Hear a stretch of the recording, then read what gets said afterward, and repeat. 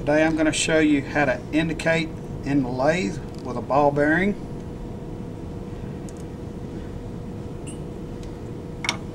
First you take your part that you want to indicate and clamp it lightly, very lightly, just enough to hold it.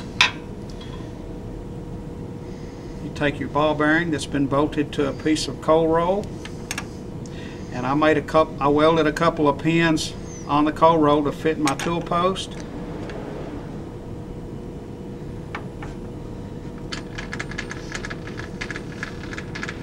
Turn on the lathe. Sort of get it on center line. Move in slowly. Let the ball bearing move apart. Now one thing you got to remember is to always remember to tighten it up before you machine it. We'll stick an indicator on it.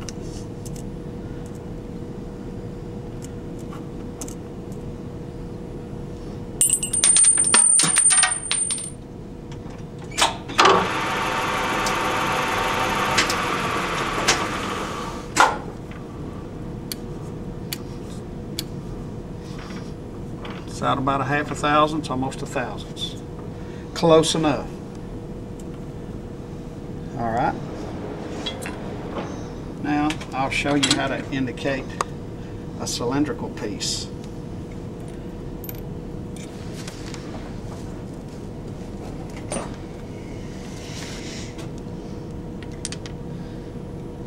Clamp it lightly.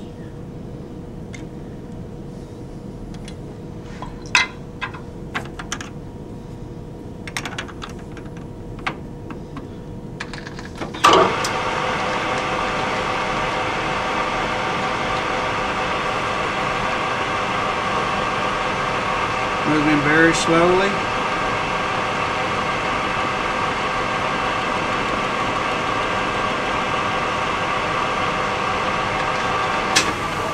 And again, don't forget to tighten your chuck.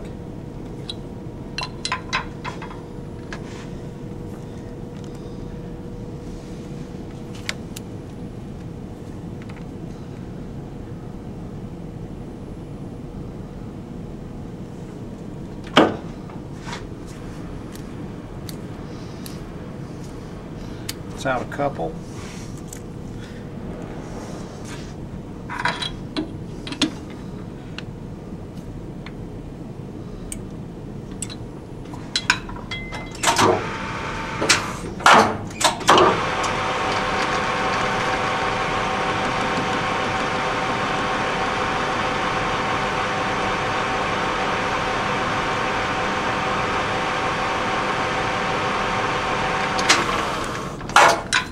Back it off slowly. Let's see if I did any better.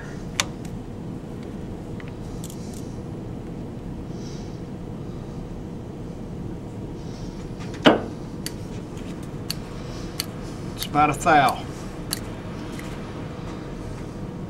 It's your tip of the day.